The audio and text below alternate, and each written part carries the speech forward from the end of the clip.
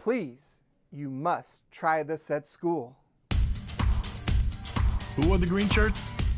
Chris. Scott. This is Tech Busters. All right, guys, thanks so much. Great work today. I'm going to close this out with a little YouTube video. All right.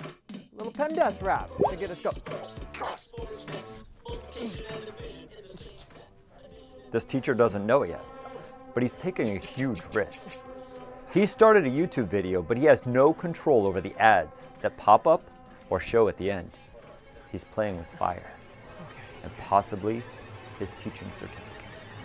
He's entered. Guys, I am so sorry. This could have all been prevented had he used safeshare.tv. How does this work, you ask? Simply copy any YouTube URL into SafeShare website to remove unwanted ads and pop-ups.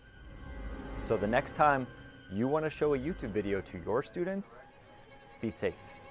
Use safeshare.tv and avoid the YouTube.